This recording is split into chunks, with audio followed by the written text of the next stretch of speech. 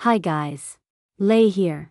Welcome to our machine learning match prediction of Portero versus Fils, who will play in the second round at the Swiss Indoors Basel event in Basel. The current head to head score is 1 to 1. Portero comes into this match with a ranking of 39, while Fils is ranked 20. Of their last 10 matches played, Portero has won 6, while Fils has won 7.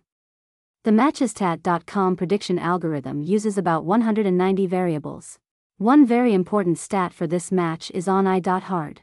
In recent matches, Portero has won 47% of his own second serve points and 34% of return points, while Fils has won 49% of his own second serve points and 38% of return points.